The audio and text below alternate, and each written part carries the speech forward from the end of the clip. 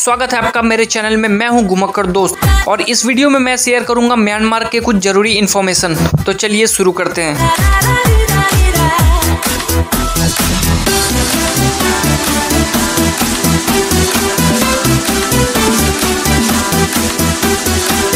तो सबसे पहले बात करते हैं म्यांमार टूरिस्ट वीज़ा की। तो सबसे पहला तरीका वीज़ा ऑन अराइवल जी हम इंडियंस के लिए म्यांमार में वीज़ा ऑन अराइवल की फैसिलिटी है, जिसके लिए हमें पे करना होगा फिफ्टी डॉलर और दूसरा तरीका है ई वीज़ा जी हाँ हम म्यांमार का ई वीज़ा भी घर बैठे भी ले सकते हैं, जिसके लिए हमें बस अपने कुछ ज़रूरी इन्फॉर्मेशन देना पड़ेंगे, और बदले में फिफ्टी डॉलर देना पड़ेगा, और हमें मिल जाएगा म्यांमार का ई वीज़ा और तीसरा तरीका है स्टिकर वीज़ा।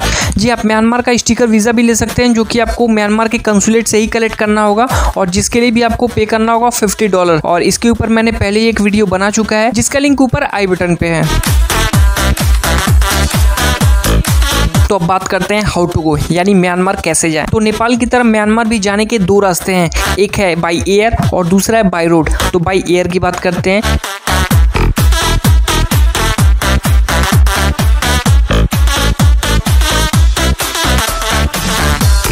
इंडिया के मेजर सिटी से म्यांमार की कनेक्टिविटी है तो आप बाई फ़्लाइट भी म्यांमार जा सकते हैं। और ये वही तरीका है जब मैं इंडिया वापस गया था बिफोर लॉकडाउन और दूसरा तरीका है बाई रोड तो बाई रोड म्यांमार जाने के लिए आपको सबसे पहले मोरे जाना होगा, जो कि मणिपुर में है। और इंडिया का लास्ट टाउन भी है। और मोरे से आप बॉर्डर क्रॉस करके उस पर, यानी म्यांमार भी आप जा सकते हैं।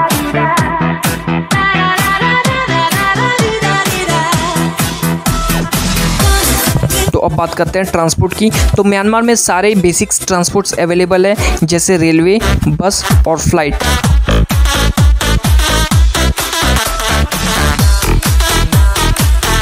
और हाँ म्यांमार में कोई भी मेट्रो का कनेक्शन नहीं है और रेलवे की कनेक्टिविटी भी काफ़ी पुरानी है।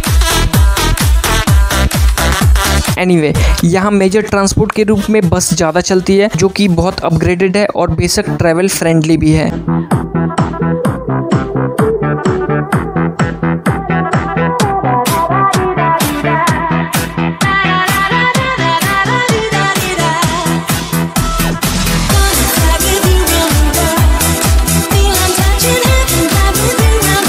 और इस कंट्री में आप बाइक भी रेंट ले सकते हैं और जिसका प्राइस मैं वहीं पे फाइंड आउट करके बताता हूँ।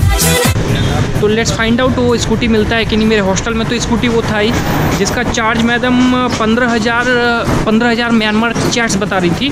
पंद्रह हज़ार म्यांमार चैट्स का मतलब हमारा साढ़े सात सौ रुपया। साढ़े सात सौ रुपये में एक दिन के लिए मुझे एक बाइक देंगी, दो हेलमेट देंगी और एक लीटर पेट्रोल देंगी। तो साढ़े सात सौ मुझे थोड़ा सा, थोड़ा एक्सपेंसिव लग रहा है।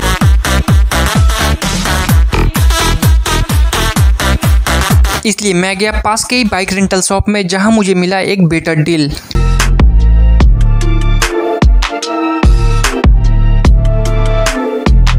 और जब बाइक की बात आई चुकी है तो पेट्रोल का भी प्राइस मैं बता ही देता हूँ। पेट्रोल का प्राइस नौ सौ हमारे प्राइस में वही तकरीबन पैंतालीस पचास रुपये पड़ेगा।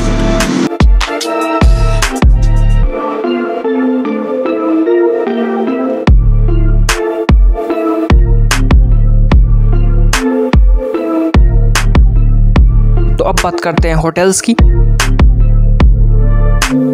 तो म्यांमार में हॉस्टल और होटल्स दोनों का ही चेन काफ़ी अच्छा है और जिसका हाइजीन लेवल भी 100 परसेंट है।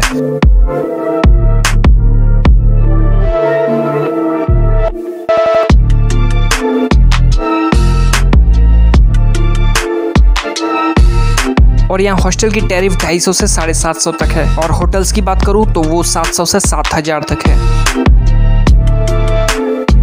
ये है मेरा हॉस्टल और मैं अपने हॉस्टल के रूम को दिखाता हूँ।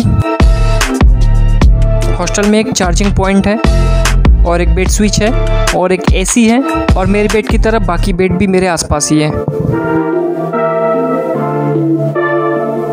और इस हॉस्टल में मेरे बेड पे पहले से ही रखा हुआ था एक पानी का बॉटल और एक टूथपेस्ट और एक ब्रश।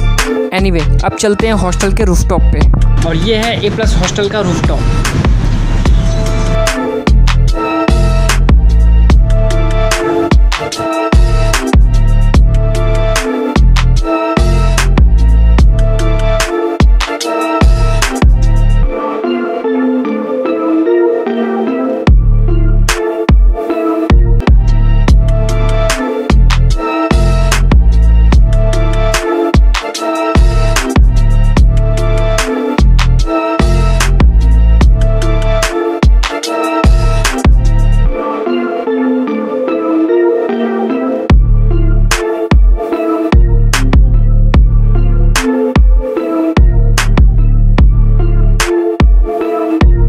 बात करते हैं डेली नीड्स की तो इस कंट्री में कन्वीनियंस स्टोर का भी नेटवर्क काफ़ी अच्छा है।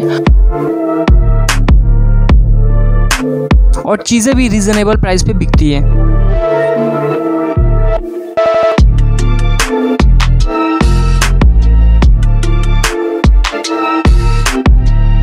Much is this for six hundred okay I will have ये भी है सिक्स हंड्रेड चेस का यानी ये भी तीस रुपये का है।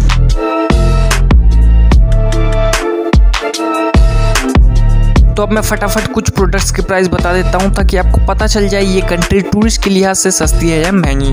500 ग्राम बोनलेस चिकन का दाम है एक सौ एक लीटर दूध का प्राइस है एक सौ बारह अंडे का प्राइस है पंचानवे रुपया। एक किलो टमाटर का प्राइस है इक्यासी रुपया। एक किलो सेव का प्राइस है एक सौ पच्चीस रुपया और एक किलो आलू का प्राइस है तिरसठ रुपया। और पानी का प्राइस तू बता दे। और पानी का प्राइस यहाँ पे चार हज़ार कैट्स यानी हमारा बीस रुपया। एक लीटर पानी का प्राइस है बीस रुपया। तो अब बात करते हैं बेवरेजेस की। तो दो लीटर कोक का प्राइस है नवासी रुपया और ढाई सौ एम रेड बुल का प्राइस है तीस रुपया। एक बॉटल रेड वाइन की कीमत है आठ सौ पचहत्तर रुपया और बियर का प्राइस मैं वही बताता हूँ। बियर का प्राइस अगर म्यांमार बियर आप लेंगे तो उसका दो हज़ार यानी हमारा एक सौ तो बियर भी काफ़ी सस्ता है। How much is this for eight hundred ये है एनर्जी ड्रिंक जो है आठ सौ यानी हमारा चालीस रुपये का।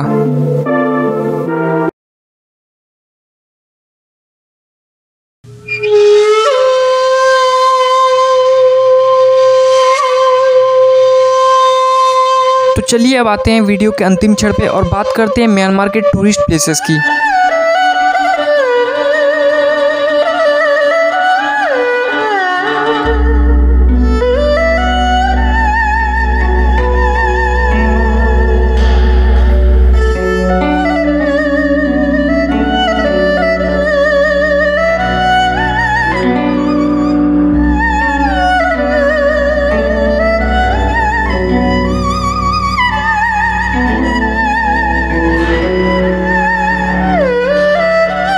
सबको पता है म्यांमार अपने पैगोडाज और मोनेस्ट्रीज के लिए फ़ेमस है।